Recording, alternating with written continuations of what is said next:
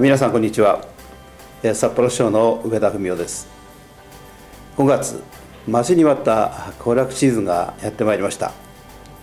お出かけの予定は決まっておりますか？え今日は行楽シーズンにぴったりの話題を3つお話ししたいと思います。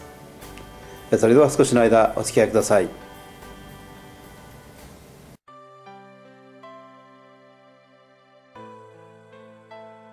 えー、市議会でも予算が承認をされまして、まあ、国土交通省の認可が必要なんですがこれも無事に、えー、下ろしていただきました、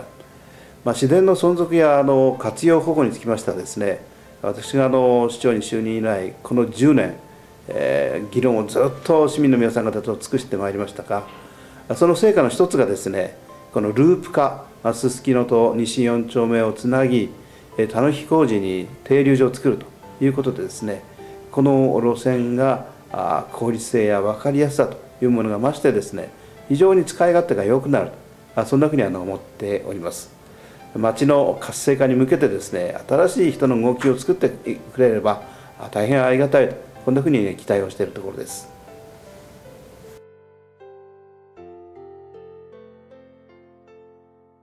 低床者って言いましてですねあの床が低い新しいえ車両を導入いたしました。えこれはあの自然の在り方をですね表すですねシンボルになるというふうには思っております。まずは1両今後2015年までには3両を導入をする考えです。まあ、自然はあの都会におけるですね横のエレベーターというふうに言われておりまして、えー、分かりやすく高齢者にも優しい乗り物それだけではなくですね街の魅力を演出する装置でもある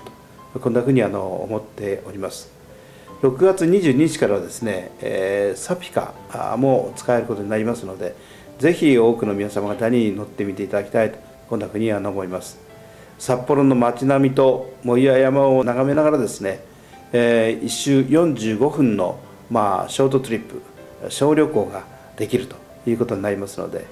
まあ、途中下車をしてですねえお気に入りのカフェで、えコーヒーを飲む一休みする、え友達と語り合うそんなこともですね、えできるとてもいい装置だというふうに思いますのできっと皆様方の心に残る旅ができるのではないかそんなふうに思います。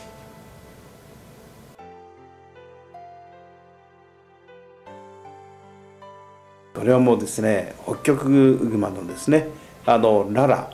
がまたですね双子を産んでくれましたね、えー、北極熊は、まあ、この繁殖が難しい動物だというふうに言われておりますけれどもその意味で丸山動物園しっかりあの繁殖ができたということで全国ニュースにもなりました、えー、私もすでに会ってまいりましたけれども、まあ、コロコロしてですね、まあ、つぶらの瞳のですね実にあの可愛らしいあの子熊がですね、えー、2匹えー、そしてお母さんに甘えるようなですね仕草が本当に嬉しいですね、え、4月20日にはですね、え、プールデビューもいたしまして、まあ、どんどん動きが子供らしく活発になってまいりました。まあここの補極馬あっという間に大きくなってしまいますのでぜひ早めにですね、えー、皆さんあの会いに行っていただきたいなとそんなふうには思います、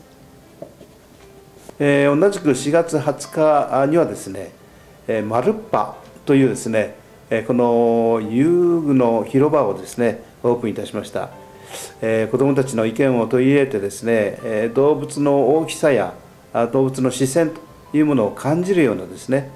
この大型遊具も作りましたのでご利用いただきたいなというふうに思います、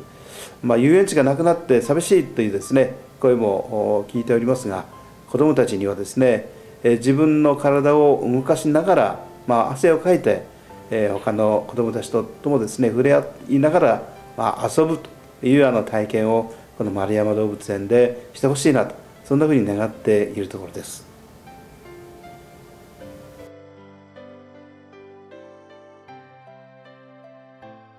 この映画はですね、まあ、札幌出身の作家であります、えー、東直美さんのですね、まあ、ミステリー小説なんですが「すすきの探偵シリーズ」というのがございましてこれが原作になった映画であります、えー、大泉洋さんが主役を演ずる探偵がですね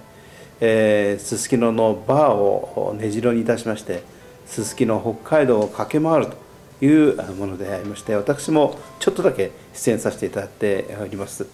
えー、前の、まあ、第1作目からですね2年が経過いたしまして、えー、スピード感やアクションもですね、まあ、パワーアップしながら、まあ、ほろりとするようなですね、まあ、そういうシーンもあの織り込まれておりましてですね、まあ、極上のエンターテインメントになったなとそんなふうに思っております。えー、北海道を舞台にした映画というのはですね、まあ、大方がこの大自然を感じさせるシーンというものが多いんですが、まあ、この映画ではですね札幌という大都会と夜の街でありますすすきので暮らす人々のですね人生の機微というものを通して、まあ、リアルな札幌の魅力というものを描いてくれているものであります。ぜひこの第2作も成功させてですねパート3パート4というふうに続いての発表されることそして札幌の魅力をですね全国に発信してもらいたいなそんなふうにあの期待をしているところです。探偵はバーにいる2すすきの大交差点5月11日公開。ぜひ札幌市民の皆さん方たくさん劇場に足を運んでいただきましてこの映画が成功し札幌全国に発信できるように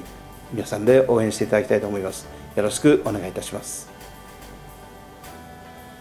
えー、今回はこの5月に楽しめる3つの話題についてお話をさせていただきましたが、まあ、いかがでしたでしょうか、えー、札幌には味わい尽くせないほどのたくさんの見どころ、まあ、魅力があります、